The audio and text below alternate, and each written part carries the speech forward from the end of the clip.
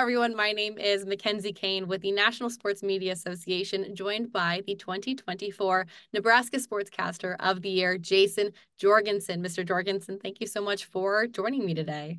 You bet, McKenzie. I'm uh, I'm glad to be here and uh, glad you reached out. Absolutely. Well, would you mind starting off with a brief introduction? Can you share what your current role is in sports broadcasting? Well, I've been the sports director here at KRVN in Lexington, Nebraska for the last 27 years. And then for the last seven years, I have been the uh, radio play-by-play guy for Division Two Nebraska Kearney. That's a Division Two school about 40 miles away. So that's that's kind of the crux of it. Well, this is your first time receiving this award, Nebraska Sportscaster of the Year. Can you just share what this accomplishment means to you? It it blew me away because in our state, and I'm sure it's that way in a, especially in a lot of small states, usually this award only goes to the guys who do Division One or the major school in their uh, state. A lot of times, our winner in Nebraska has been uh, whoever's been the play-by-play voice of the Nebraska Cornhuskers, or this award has been won by a lot of guys in Omaha and Lincoln. I'm three hours west of Omaha and Lincoln. So to to win this honor, uh, it just it, it blew me away when I found out that I was even being considered, and then to find out later on that I was the winner, I I almost couldn't believe it.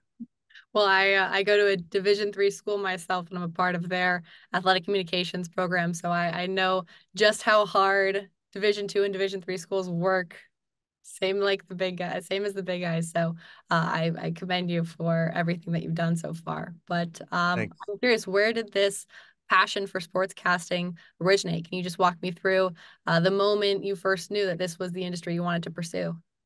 Probably like everybody and everybody, I think, who gets into this has a lot of the same stories. I was pretty young and uh, I was a kid. I was like anybody else back in the 80s, sitting in front of the TV uh, yapping along to the game that was on. Unfortunately, my family was uh, pretty understanding and they sat there and they dealt with me as a kid trying to call games. Also, as a kid, uh, I would call our Tecmo Bowl games that we would play on Nintendo, and I would keep stats on a on a yellow pad. So it goes back quite a ways. And then when I was in high school, uh, I had a teacher. His name was Mr. Kerr. He was our uh, weight training teacher, and he really encouraged me. He said, "Jayson, this is something I think you could be pretty good at." So got a little push from him, and uh, here I am, some thirty years later. Well, can you uh, can you walk me through what a typical week looks like for you, and how you go about preparing your stories? Well, the one thing that uh, I I kind of feel like I have two full time jobs. Where one, I am the sports director here at KRVN. I also have an air shift on KRVN from ten until two and I have five sportscasts during the day. And then you have to take care of the website. And then I'm also in charge of scheduling all of our high school broadcasts. And I still do some of our high school broadcasts that we have across the region. Then on top of that, then there is the UNK stuff. And normally in a basketball season, our games would be Thursday night and Saturday afternoon if we're at home when we're on the road, then I take off and I leave with the bus. I'm fortunate enough with the basketball teams, they allow me to travel with them on the bus. And then I'll normally be gone a Wednesday morning through most times we get home one, two o'clock on a a Sunday morning. So that's that's an average week for basketball.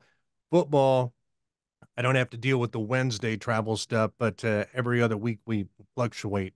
And our road trips are pretty extensive. Our our closest uh, school that we play is about two and a half hours away. I would say on average, we have about five, five and a half hours one way to uh, each football game. And how long have you been doing both of those uh, different jobs for? Well, I've been here at KRVN for 27 years and then uh, done the Loper stuff for seven. So in the last uh, seven years, life has been uh, a little busier with getting to do the college stuff, but that's always what I wanted to do and that job opened up and I didn't have to move to move up to the college level. I was still able to work here at KRVN, still live in the same house. My house is basically halfway between the university and the radio station. So I'm about 20 miles either way. So it, has been a pretty good fit. Well, in your 27 years at KRVN, do you have a favorite memory from your time so far?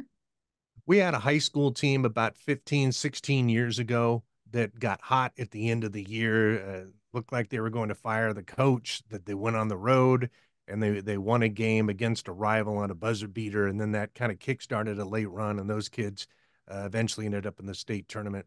That was pretty cool. And doing the Lopers, about the second or third year in, I got to call a national championship match on the volleyball level. Then our women's basketball team has been to the NCAA tournament three or four times, and even our football team made a bowl game not that long ago. So I've been pretty blessed in the seven years that I've called the Lopers to have some good teams to call. Well, it's um it's my understanding that uh, voice is sometimes one of the best indicators of detecting emotion. Um, so I'm curious, how do you balance informing the public and maintaining objectivity in your reporting without sounding like uh, you're picking favorites?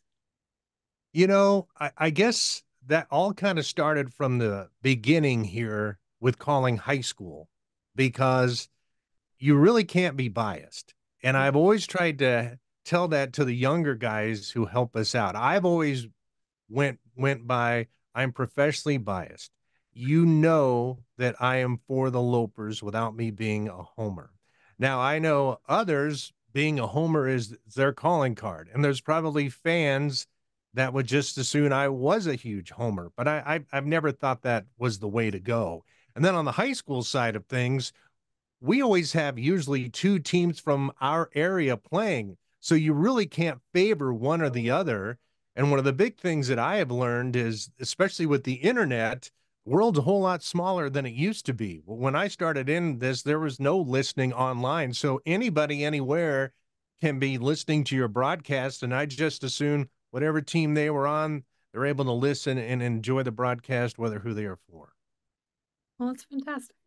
Uh, well, I, you earned the title of Nebraska Sportscaster of the Year, and clearly you've got the buttery smooth vocals that this uh, this field requires, and it's so heavily audio based. But can you um, elaborate a little bit more on the role being a strong writer and reporting uh, or being a good storyteller plays in your work? You know, I, I've always tried to, I go and talk to our local college, the, the broadcast students every year. And that's one of the things I always bring up that you have to be a writer.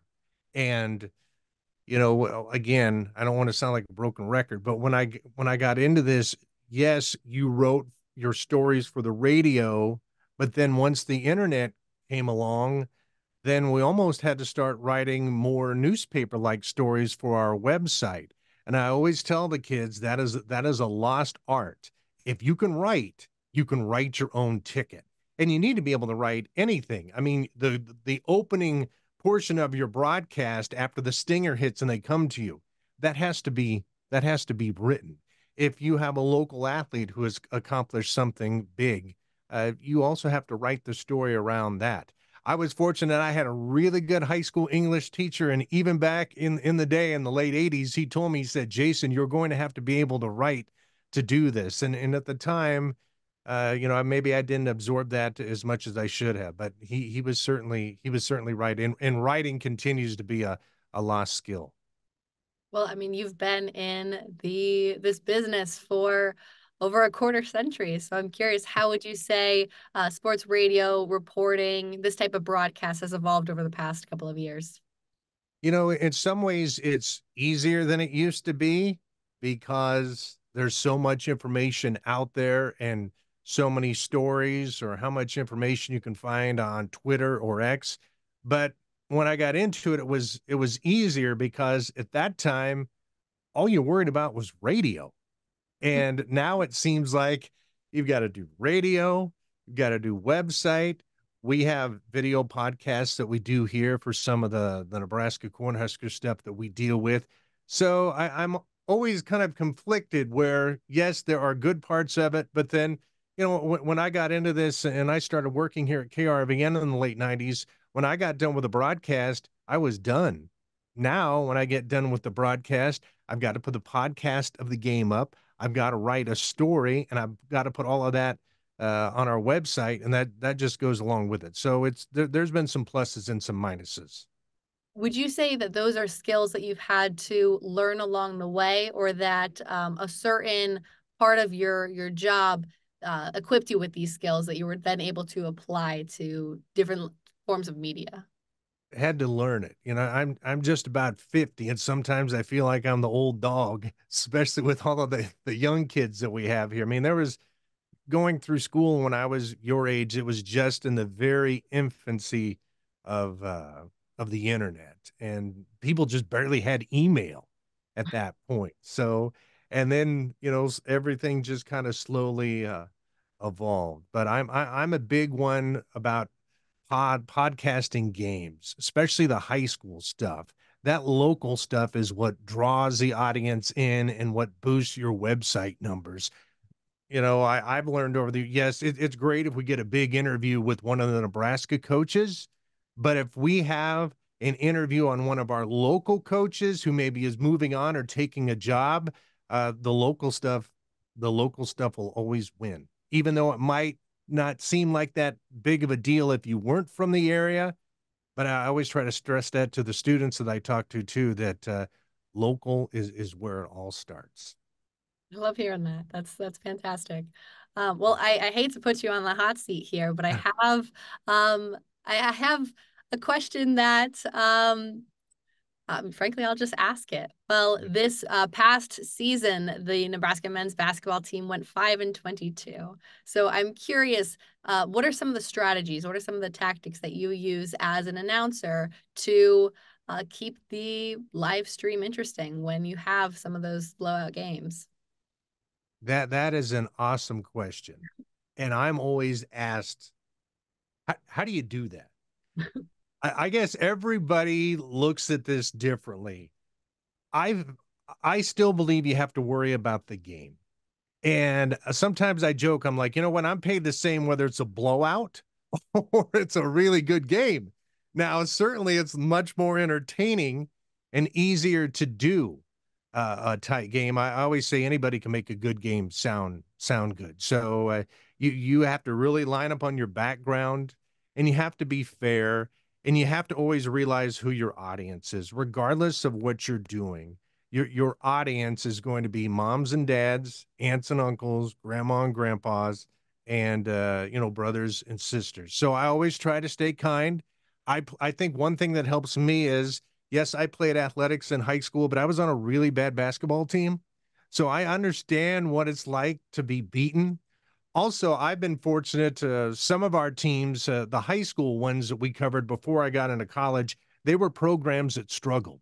So I, I guess I've had a lot of practice of doing blowouts, and to me, it's it's it's just the game. You you gotta you gotta stick with the game. You gotta stick with your uh, your basics, and uh, just just try to be positive, because I think being negative doesn't do you any good, and you can't ride people and and ride coaches. At least not in my, in my area. Now, if you were in the pros or in a bigger city, you know, you probably could be uh, a little more critical. But that, that that's a good question that you asked me because I've had several people in the last couple of years with our Nebraska Kearney basketball team struggling, and many times they've come up to me and they've said, "Thank you for remaining positive." So uh, maybe maybe that's the way to do it. I don't know.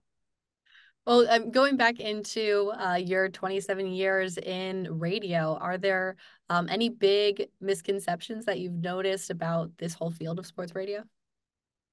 Mm, it. Or, I, uh, I, don't know about misconceptions. I, I will say it. You know, I, re- I read something this week. You know, the the big story that's going on now with LSU coach Kim Mulkey, and and she comes out front of that article that's supposed to be coming out about her in the Washington Post it it does make me sad that that people don't trust the media or they say they don't trust the media. And i guess i've never really run across somebody who i thought was out to do somebody harm.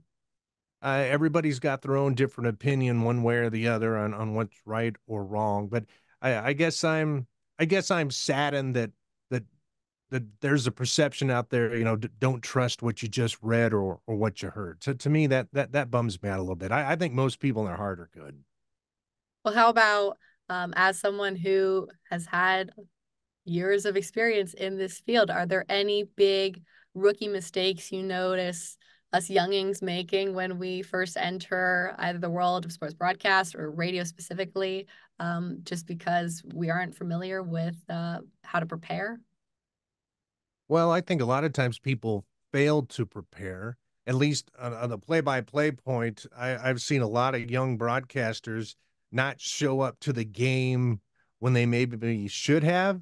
I've seen people walk up, and, and this is at the high school level. You know, the kickoffs at seven o'clock. They get there at six thirty. They're walking down on the field to get starting lineups from the coach at six forty-five to me that should all be done ahead of time and that and that's something that I've always tried to do. Now there are others who who, are okay with that, but that is one thing whenever I've had uh, young guys help us cuz we have sometimes on a Friday night we'll have three different high school football games going on at one time and I always stress to the kids that you got to be prepared, email ahead of time, and uh, be prepared and know your stuff because the, the time to go down to talk to the coach isn't 10 minutes before kickoff or uh, tip off. Well, I guess uh, for my final question, I'd love to ask if you have any advice for aspiring young sports reporters and broadcasters like myself um, and others that might be listening. Um, what advice you'd like to give them? My advice would be, and, and I didn't learn this until I, uh, until I'd been in it a long time I I always thought that if if I became really good at this, that someone would notice me. And it doesn't work that way. You have to network, you have to know people, you've got to spread out there. I know it's an old saying and it's a cliche. It's not what you know, it's who you know. And really in broadcasting, and it's probably that way in any profession, but it's who you know. And I'm kind of out here in the middle of Nebraska, even though I work for a 50,000 watt AM radio station. I I I always thought, you know, oh, somebody will notice me. Somebody will notice. No, you've you you've really got to you got to push and and you got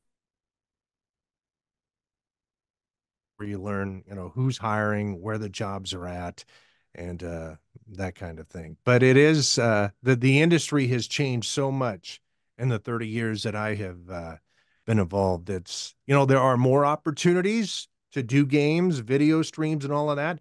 But then there are less jobs now. There's a lot of radio stations. Um, well, you've seen how newspapers have shrunk. There's not the there's there's not the news. There's not the jobs in the newspaper business that there once were, and there certainly are not the jobs in the radio business that they once were. But uh, that that would be my advice: meet everybody you can, and remember names, and network, and network, and network.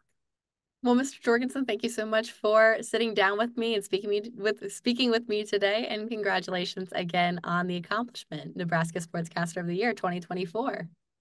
Thank you, uh, McKenzie. Uh, it's still when I hear that, it, it's I don't it doesn't seem like it's real, but uh, I'm very excited and very humbled that I won. Thank you.